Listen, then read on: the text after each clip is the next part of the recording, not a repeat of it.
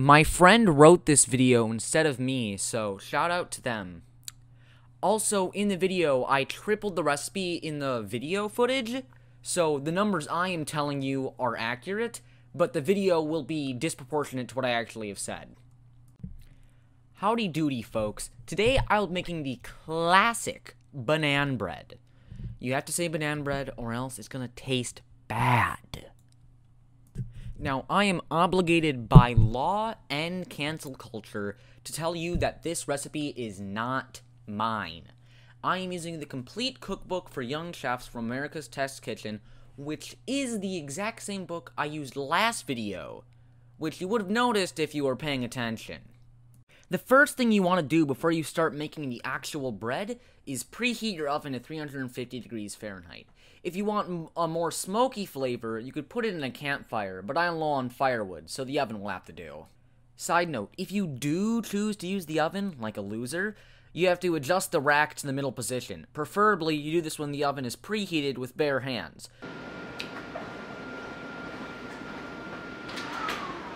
I hate this part just to feel a little piece of the pain you're putting the loaf through. It's fine if you don't, but we need to have some sympathy here, guys.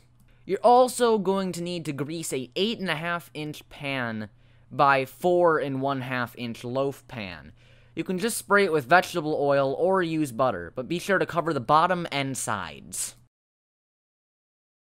For the actual recipe, start by combining 2 cups of all-purpose flour, 3 fourths teaspoons of baking soda, and 1 half teaspoon of salt together in a medium bowl. Whisk them until you think they're fully combined, but you don't know because they're all a very similar color and texture.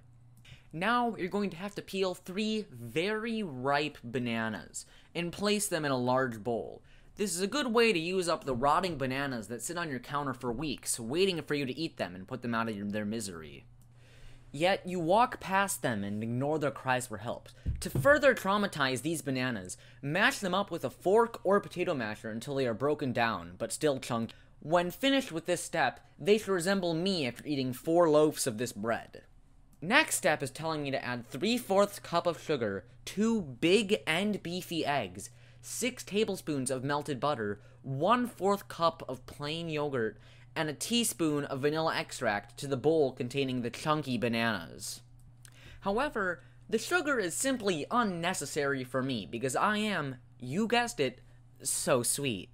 And I know what you're thinking, Gavin, I'll never be as sweet as you, but I don't want to use the sugar.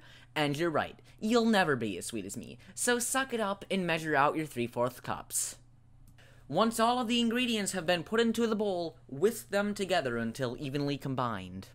Take your flour mixture and add it to the banana mixture, carefully stirring with a rubber spatula.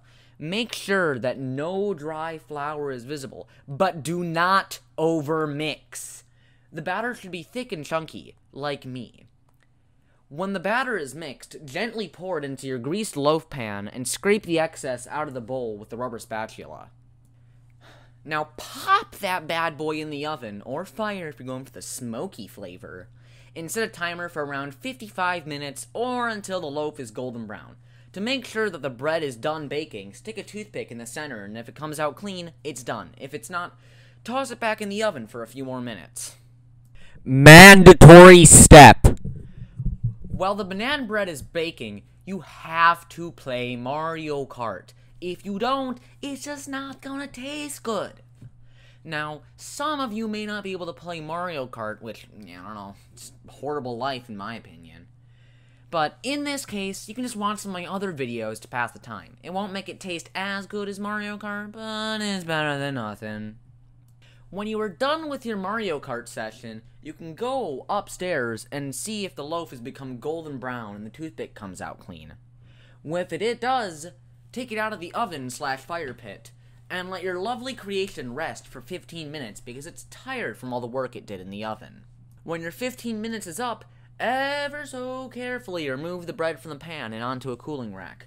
Let it rest for a full hour before serving, or at least what it says to do, but the rest of us just eat it directly afterwards. Enjoy your fun, funky, fresh banana bread. Don't forget to like and subscribe.